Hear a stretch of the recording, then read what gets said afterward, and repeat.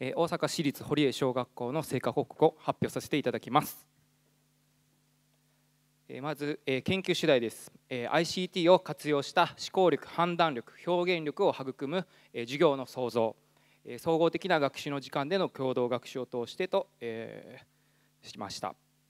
研究の目的です。え総合的な学習の時間の中で情報活用能力を育む授業デザインの構築。それから ICT を活用した児童主体の行動学習共同学習デザインの構築。そこから思考力判断力表現力を育む授業の創造を試みました。平成27年度授業実践です。全部で12本公開授業を行っております。堀江の自然を見つけよう。堀江の町の歴史調査。いろいろ行ったんですけれども防災サミットを開こう。アメリカとスカイプで交流もしております。それから6年生では 3D プリンターなども使っております。この中から私たちは教師主導になってしまっている授業を行っているのではないかと課題に気づきました。兵庫教育大学の永田先生にもご指導していただき気づきました。そうだ。黒板を子どもに渡そう。このように考えて次年度は授業を考えていこうとしました。実際に黒板を子どもに渡そうというのは子どもの可能性を信じてできるだけ子どもたちに任せる。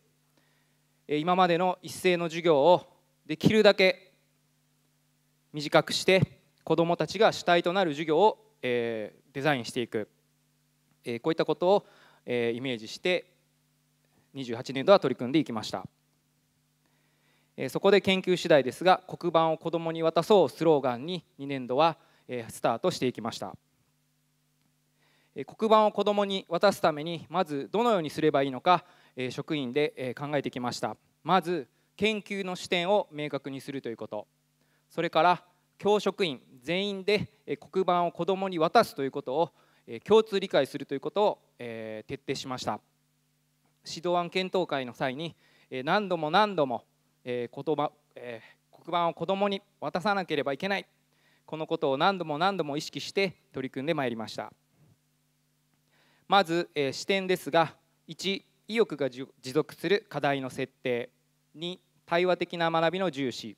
3ルーブリックの活用。4振り返りの重視。5 ICT の効果的な活用この視点を大切に授業づくりに取り組んでまいりましたまた深い学びを行うために総合的な学習の時間の中で探究のプロセス課題の設定情報の収集整理分析まとめ表現このプロセスを1サイクルそれから2サイクル3サイクル3サイクルと進んでいけるように常に意識しました。27年度はほとんどがワンサイクルで終わってしまいました。ここを特に意識して授業のデザインしていきました。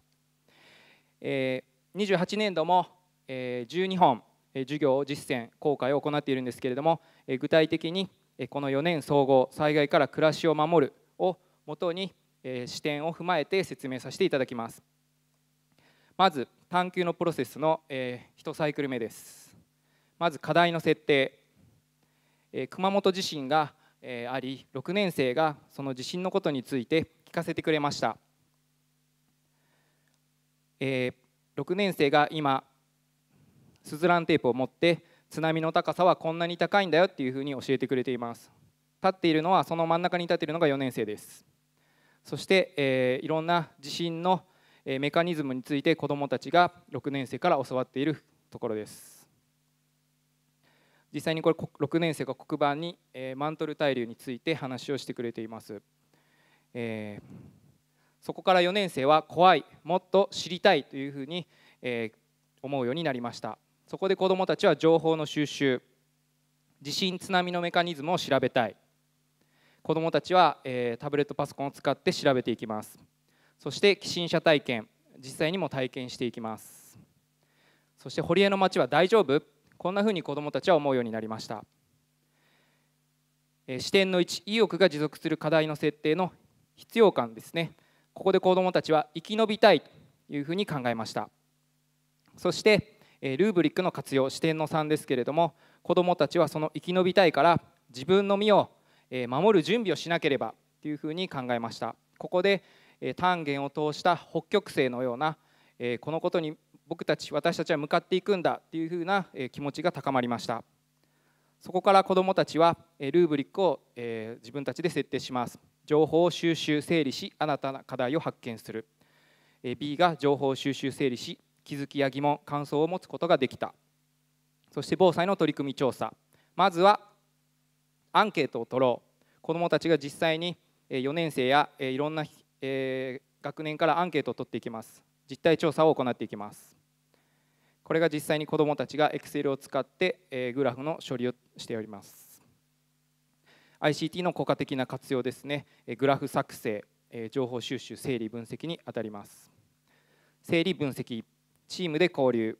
子どもたちは実際に作ったグラフを使ってみんなで交流していきます。そして課題や分かったことを明確にしていきます。ここで視点の2対話的な学びの重視話し合い聞き合い説明しながら行っていきます。まとめ表現。全体の交流。実際に子どもたちが授業の中で発表をします。そしてそこから子どもたちはまたえー、知っている人を、えー、新たな課題津波の避難ビルがあると知っている人を増やしたいというふうに子どもたちが、えー、気づいたことに、え価値、えを与えてあげそしてまた生き延びたいというふうな気持ち。ここでまた、え振り返りの重視ですね。意味付け価値づけ変容を感じる問題や必要性を実感、え次の学びへ向かう姿勢へと、え言っていきます。そしてまた新たな課題発見。サイクルの2サイクル目と移っていきます。2学期、えー、自分がどんな場所にいても安全に、えー、避難しなければならないというようなまた課題が、えー、明確になってきました。いつどこで誰と、え、子どもたちはまた調べていきます。災害発生前災害発生直後、え、こういったことを調べていって自分の力だけでは限界だということで共助公助に気づき、え、防災フォーラムを開いていこうと子どもたちが提案します。そこから子どもたちは主に次女について発表を行っていきます。エレベーターで地震が起きたらどうしようというプレゼンです。そして、え石巻の記者とスカイプでつないで石巻の方の話を聞いたりそれから区役所地域の取り組みを、え聞いたりをしていきます。そして新たな課題をまた見つけ3サイクルメイトを移っていきます。研究のまとめです。成果ですけれどもまずこの黒板を子どもに渡したことによって探究的な学習のプロセスの中で児童のより主体的な姿が見られました。実際に児童にとったアンケートですけれども自分で課題や目標を持ち学習に取り組むことができているが1学期は91.3%から3学期は94.2%感想についてですが自分たちで疑問に思ったことを調べていくことが楽しい。それから結果をグラフにしてそこから何が問題なのか考えることがとても楽しかったというふうに感想の方に書いてありました。次に2つ目効果的な ICT 活用ができた、えー、いろんな実践の中で思考を可視化する場面。瞬時に共有する場面。調査活動でのカメラ機能活用。タブレットの情報収集。考えを交流する場面。調べたことをもとに整理分析する場面。まとめ発表する場面。